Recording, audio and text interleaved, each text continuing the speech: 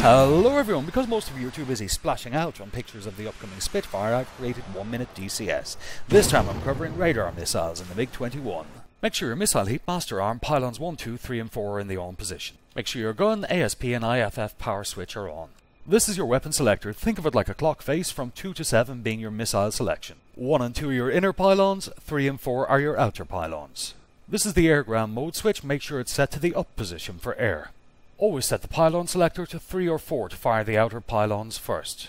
Make sure the ASP is set to missiles, shooting and auto mode. Set the pipper mode to up fixed. This is the SAR switch, make sure it's set to the down position for semi-active radar missiles. Set the radar switch to on and the low altitude switch to the center to remove ground clutter. The TDC brackets on the radar can only be moved vertically via the throttle to select targets. The IFF button is here, bind it and use it. When targets appear in your radar, steer until the TDC is over the target and press the lock button. Chase the target down, keeping it in the center of your radar. When the red bars appear, you're in range. Wait till the missile brackets are 5 degrees off the target, fire your missile and make the bugger swim home.